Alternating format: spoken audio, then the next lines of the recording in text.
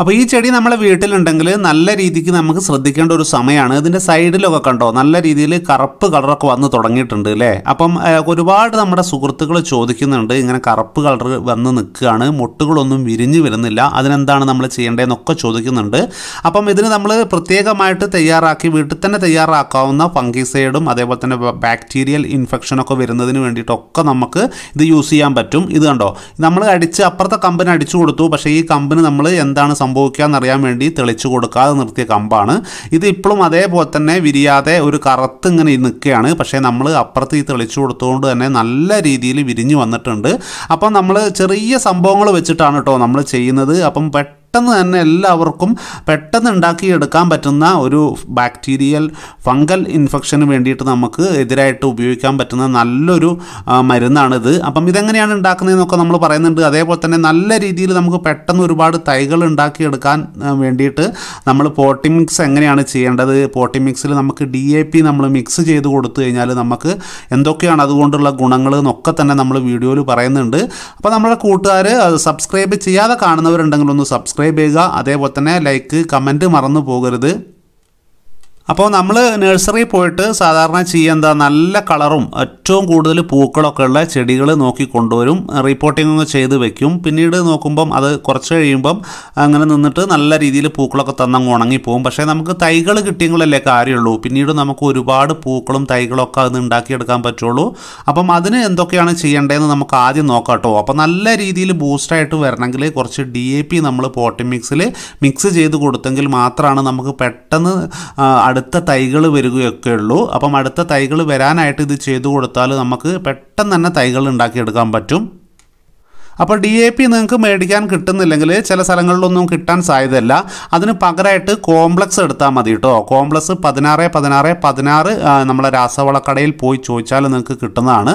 അത് നമുക്ക് ഒരു പന്ത്രണ്ട് ഇഞ്ച് ഡയോ അല്ലെങ്കിൽ ഒരു എട്ട് ഇഞ്ച് ഡയോ വരെയുള്ള നമ്മുടെ പോട്ടിങ് പോട്ട് ഉണ്ടല്ലോ ചട്ടിയിലേക്ക് നമുക്ക് ഒരു സ്പൂൺ എടുത്ത് മിക്സ് ചെയ്തതിന് ശേഷം നമുക്ക് പോട്ടി മിക്സ് തയ്യാറാക്കാവുന്നതാണ്. ഞാനിവിടെ ഉമ്മിയും മണ്ണും ചാണകപ്പൊടിയും ഒരേ അനുപാതത്തിൽ എടുത്തിട്ടുണ്ട്. പിന്നെ ഒരു പത്ത് ശതമാനം നമുക്ക് നമുക്ക് മണലക്കൂടിയും ചേർത്ത് കൊടുത്തിട്ടുണ്ട്. കാരണം ഉമി കൂടുതൽ എടുത്തുകൊണ്ട് നമുക്ക് കൂടുതൽ മണൽ ചേർത്ത് കൊടുക്കേണ്ട കാര്യമല്ല. നല്ല രീതിയിൽ മോയ്സ്ചറായിട്ട് തന്നെ നമ്മുടെ പോട്ടി മിക്സ് നിൽക്കുന്നതാണ് കേട്ടോ.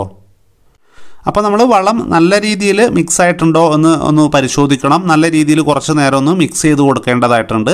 അളവെടുക്കുന്ന സമയത്ത് നമ്മൾ ഒരു സ്പൂൺ തന്നെ എടുക്കാനായിട്ട് ശ്രമിക്കുക. കൂടുതലായി പോകരുത്. അതിനുശേഷം നമുക്ക് ഏതാണോ റിപ്പോർട്ട് ചെയ്യേണ്ടത് ആ കൂടെ ഉണ്ടാവുമല്ലോ നമ്മളെ കയ്യിൽ അത് നമ്മൾ ഇതേപോലെ കീറി മുറിച്ചെടുക്കണം. മുറിച്ചെടുക്കുന്ന സമയത്ത് ഇതേപോലെ വേരുകളായിട്ട് നമുക്ക് തോന്നും. പക്ഷേ ഇത് വേരല്ല. ഇതാണ് നമ്മളെ ജമന്തി ചെടിയുടെ തൈകൾ വരുന്നതാണ്. അത് ചില സമയം ഇതേപോലെ അടിയിലേക്ക് പോയിട്ടുണ്ടാവും. അത് നമ്മൾ എങ്ങനെയാണ് കൃത്യമായിട്ട് നമുക്ക് പോട്ടിലേക്ക് ഉപയോഗിക്കാൻ പറ്റുക എന്ന് കൂടി ഒന്ന് നോക്കാം നമുക്ക്.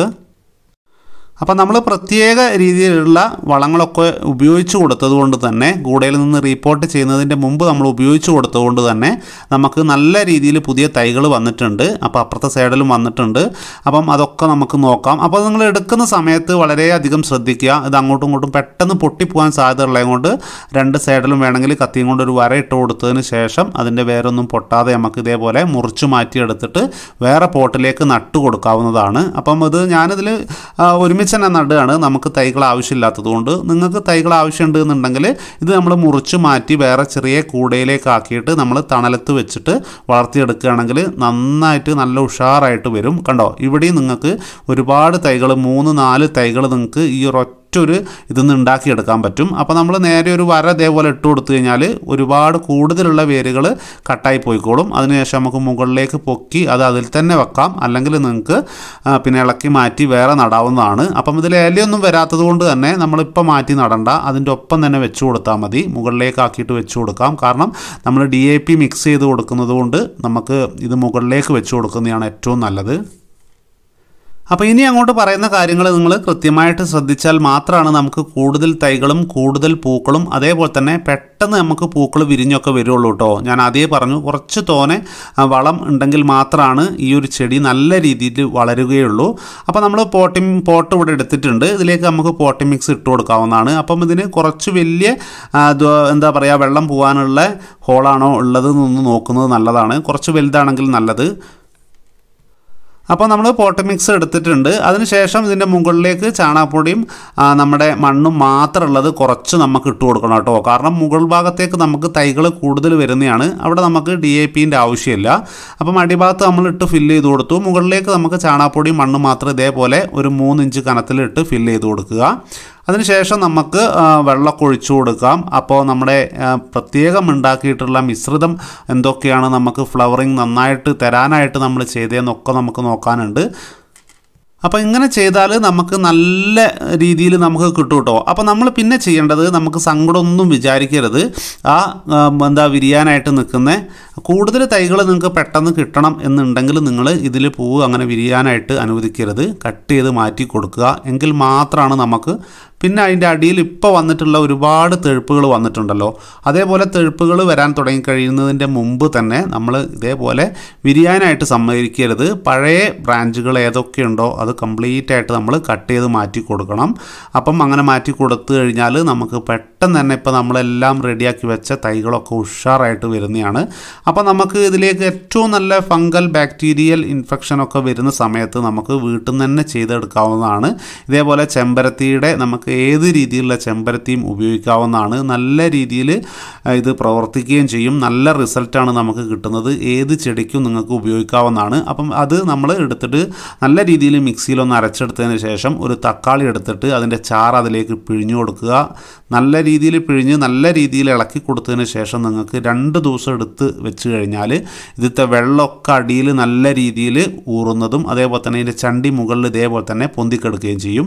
ആ ചണ്ടി എടുത്തിട്ട് നിങ്ങൾക്ക് രണ്ടോ മൂന്നോ ലിറ്റർ വെള്ളത്തിലേക്ക് കലക്കിയിട്ട് നിങ്ങൾക്ക് ഇതിന്റെ അടിയിൽ ഒഴിച്ചു കൊടുക്കുകയും ചെയ്യാം. അതേപോലെ തന്നെ ഇതിന്റെ അടിയിൽ നല്ല ചുമന്ന കളറിലുള്ള വെള്ളം ഉണ്ടാവും.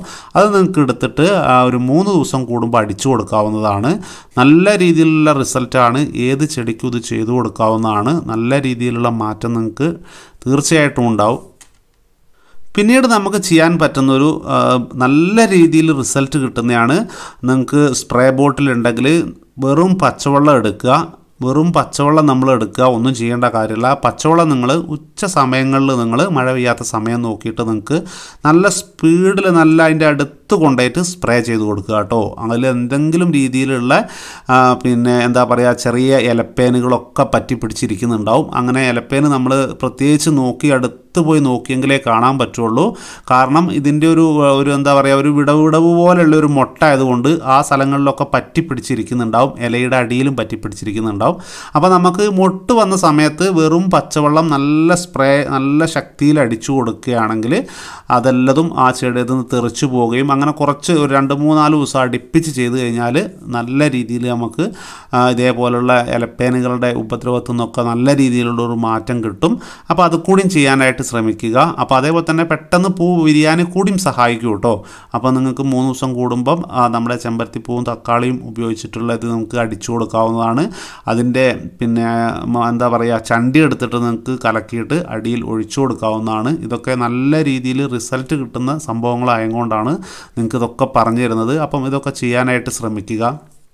അപ്പോൾ പോകുന്ന പോക്കിൽ ലൈക്ക് കമന്റ് ഷെയർ മറക്കരുത്. അതേപോലെ തന്നെ നല്ലൊരു വീഡിയോ ആയിട്ട് അടുത്ത ദിവസം തന്നെ വരാം. എല്ലാവർക്കും ബൈ ബൈ.